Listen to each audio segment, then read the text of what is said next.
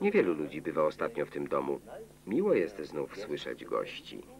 Dziękuję. A pan jest Benson Madam. Dziękuję, Benson. Nie, nie. Ja się nazywam Benson Madam. Benson Madam? Tak, sir. James Sir Benson Madam. James Sir? Tak, sir. James Sir Benson Madam? Tak, sir. Tak dziwnie. To nazwisko mego ojca, sir. A jak twój ojciec miał na imię? Howard. Howard Benson Madam. Twój ojciec nazywał się Howard? Przestań, Dick, mam tego dość. Jesteśmy. To pokój nieboszczki pani Twain. Na co zmarła?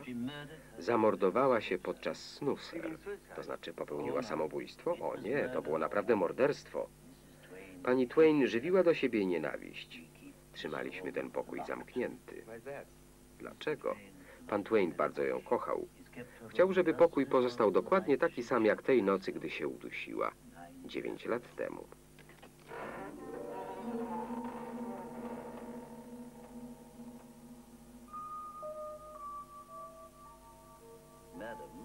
Pani bardzo się tu podobało.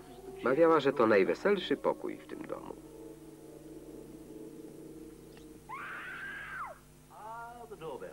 Dzwonek do drzwi. To pani Charleston. Myślałem, że jest z nami. Jestem i nie będę nocować w tym okropnym, brudnym pokoju. Brudnym? Dobrze, proszę pani. Sprzątnę go podczas kolacji. Dziękuję, Benson, sir. Madam. Co? Benson, madam. Madam.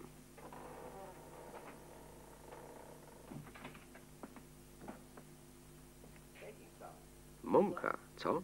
Ten kurz to mąka. A te pajęczyny to mrożony cukier. Wszystko umieszczono tu przed chwilą, aby nas nastraszyć. A ta mysz to z pewnością mechaniczna zabawka. Głupi. Kto? Ja. Ona jest prawdziwa.